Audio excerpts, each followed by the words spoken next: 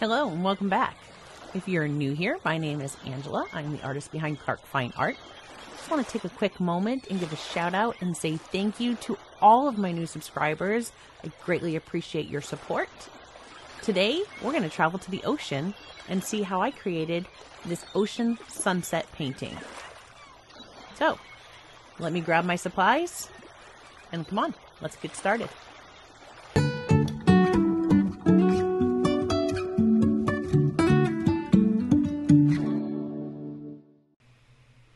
Okay, for colors today, I have some Mars Black, Titanium White, Lemon Yellow, Scarlet Red, Cerulean Blue, and I even put on a little bit of Phthalo Green because I wasn't sure if I was going to want a little bit of a turquoise color in my water.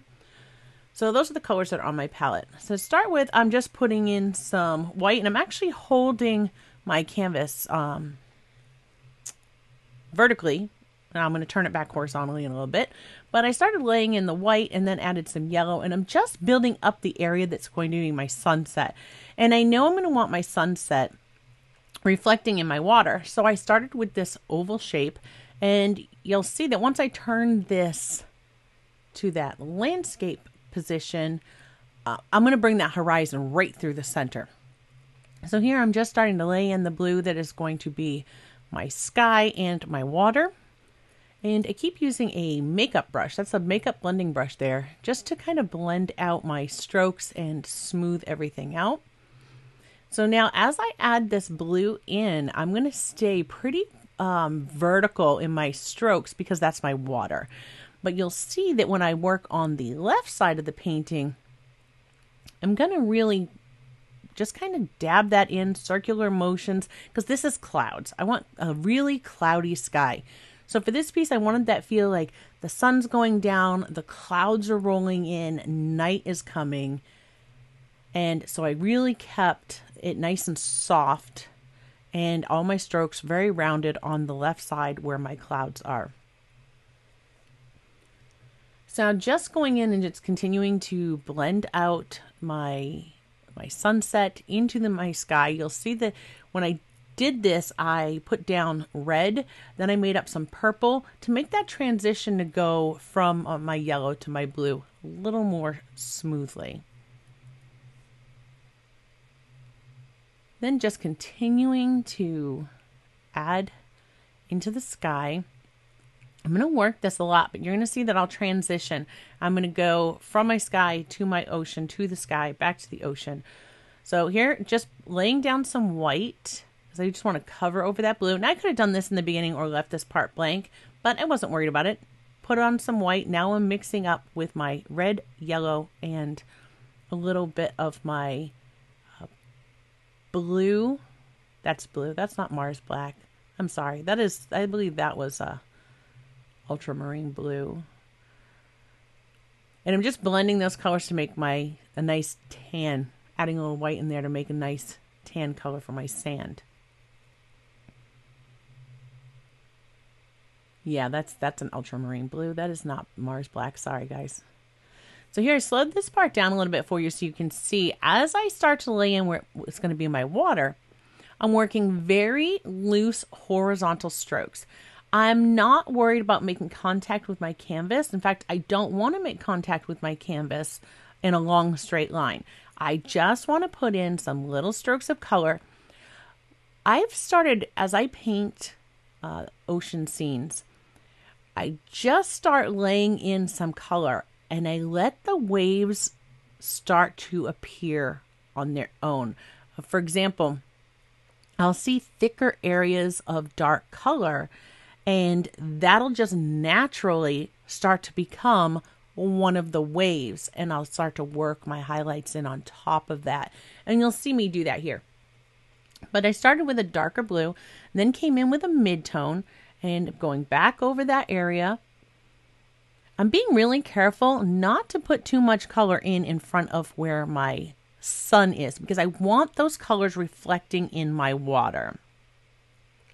So I'm bringing that, that was more of a dry brush right down over the sand so you can kind of see through some of that just like the water rolling over the beach sand.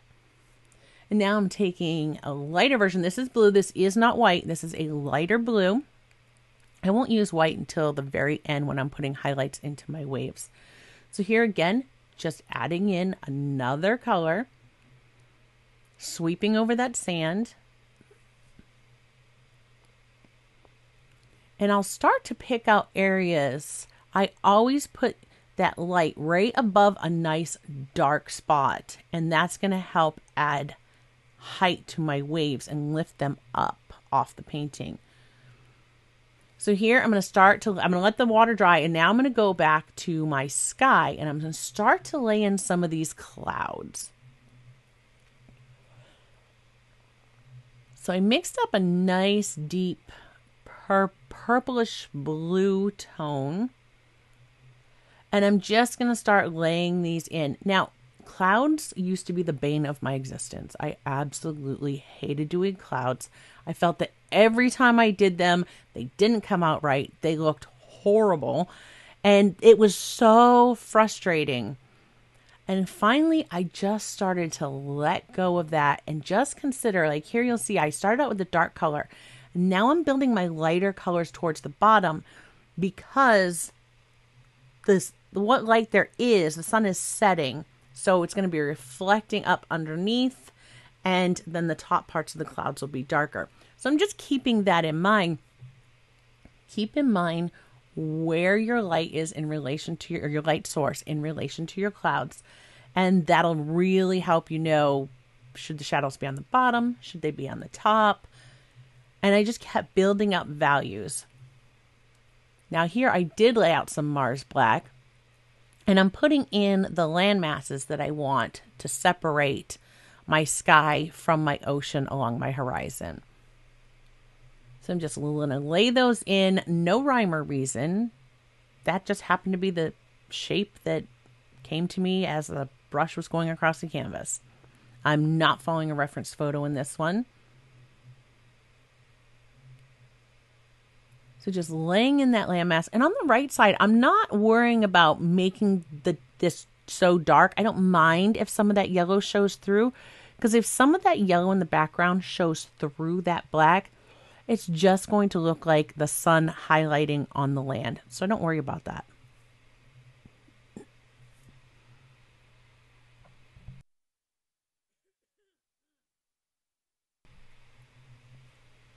Now here I'm gonna I'm mixing up. This is where I was I was gonna try the green and see if I liked some of the turquoise color in it.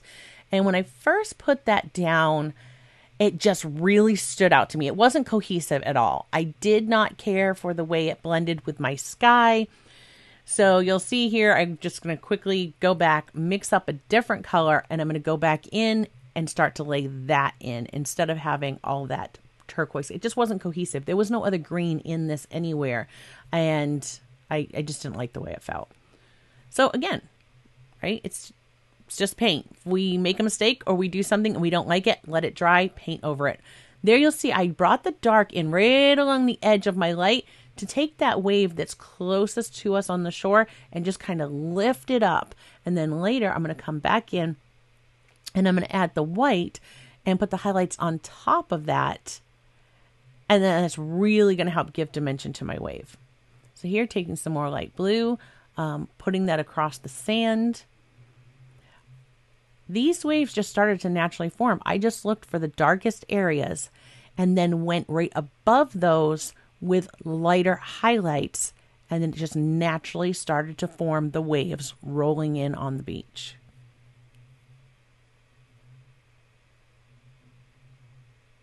Now here I'm being very careful to make sure I maintain some of the yellow and pinks that were in the water so that you'll have that reflection of the sun setting in the ocean.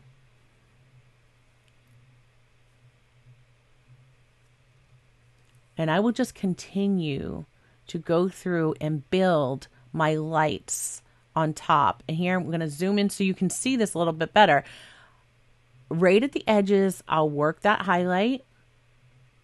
And then as I start to lay in the edge of the foam, you'll see I'll lay that I'll lay that across and then once I lay that color in, I'll start to pull it back so it just looks like the foam naturally being drawn back in as the next wave is getting ready to come over and crash.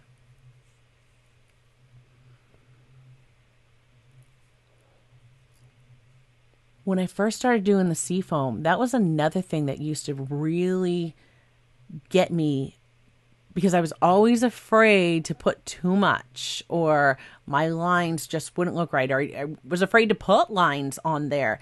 And the more I looked at and the more we took trips to the beach to check out the way that it the waves were actually looking, I became less I guess apprehensive about just putting it in there, just putting that color down and chances are you're going to have a wave that can look like that. So don't be afraid to just, pardon the pun, dive in and do it, right?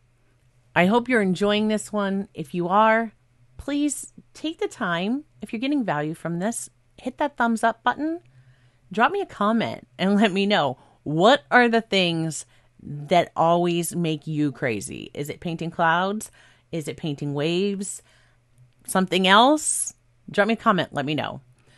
If you take the time to paint something like this, please do tag me uh, on social media. I am at Clark Fine Art on everything except Instagram, where I am at Clark underscore Fine Art. And I definitely look forward to seeing your work and what you do. Now, I'm just going to continue to work my way through and add highlights here and there, just areas where I see if there's a dark spot that looks like it could be a wave, I can put a highlight on top of it. I'm going to do that. I'm adding in a little bit more highlight from the from the sunset right there. And I'm even going to bring in a little bit more, uh, lighten it up in the part where the sun is coming down above the horizon. Um, but now I am I wanted to tone this. Up. This was still a little bright, and I want to darken it up a little bit. So I liked my clouds, but I wanted to glaze some more color over that. So I'm going to come through. I'm going to glaze the blue. Again, I'm using my makeup brush just to kind of blend out the brush strokes that I'm doing. And I wanted to darken this up. My water's dark. So if my water's dark, I want my cloud, my sky and my clouds to be darker on that side as well. So I'm just keep coming back through and just playing with the clouds um, glazing over it, and I just keep slowly tweaking things till I get things just the way I want. And then that's going to be it. Adding in a few more clouds here. And that is my ocean sunset painting. So, again, I hope you enjoyed this. I hope you will take the time to give it a thumbs up. YouTube does reward interaction. And until next time, my friends, I thank you for spending your valuable time with me, and I encourage you to keep creating. Bye for now. See you in the next one.